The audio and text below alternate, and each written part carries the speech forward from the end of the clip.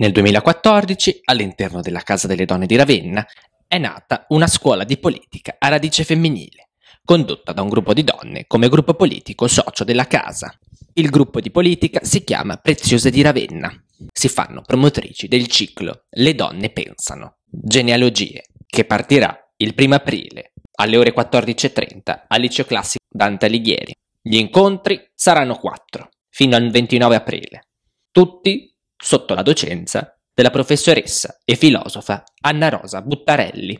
L'Accademia Le Donne Pensano Genealogie fa parte di un uh, progetto formativo triennale di cui Genealogie è il primo corso. Genealogie significa che uh, attraverso studi femminili e femministi si è scoperto che ci sono delle tracce comuni di pensiero di donne scrittrici e pensatrici che hanno eh, lavorato sec- e pensato e scritto in secoli differenti, eppure c- c'è come un richiamo fra di loro. Questa iniziativa è stata pensata per le scuole superiori avrà una partecipazione eh, importante di insegnanti per la loro formazione. Per gli insegnanti che si sono iscritti a questa accademia saranno riconosciuti dei crediti formativi ma è anche un'iniziativa aperta alla cittadinanza e agli studenti, perché queste accademie sono state pensate dalla scuola di alta formazione per donne di governo come una uh, dislocazione territoriale itinerante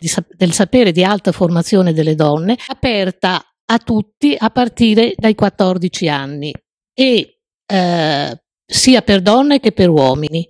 È un'accademia gratuita perché abbiamo avuto la collaborazione e il sostegno del comune di Ravenna, assessorato alle politiche e alle, alla cultura di genere, dell'Unione dei Comuni della Bassa Romagna e anche la collaborazione della preside professoressa Giuseppina Di Massa, dirigente del liceo di Lugo e del classico di Ravenna. La scuola di alta formazione prenderà avvio nel 2020. Qual è l'organizzazione?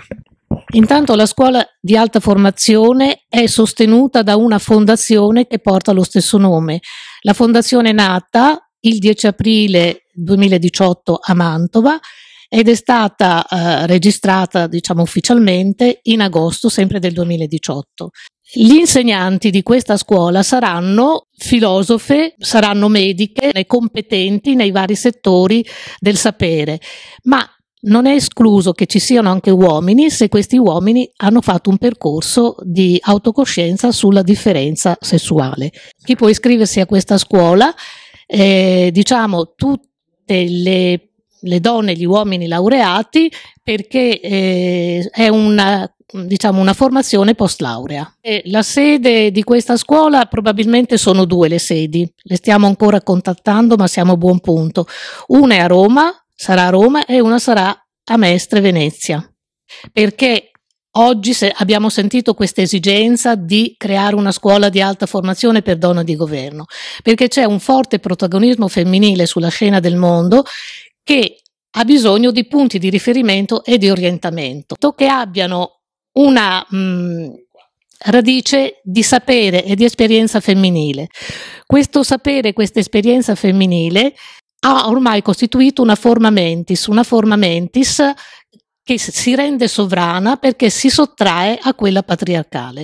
Gli obiettivi più specifici e più salienti sono tre e sono i seguenti. Dotare di una formazione professionale, amministrativa e politica chi vuole accedere a posti pubblici e anche privati, evitando l'inclusione neutralizzante.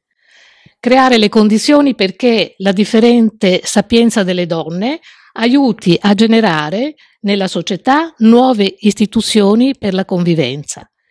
Costituire un laboratorio permanente di incontro, discussione e registrazione storica di esperienze pratiche di donne di tutto il mondo.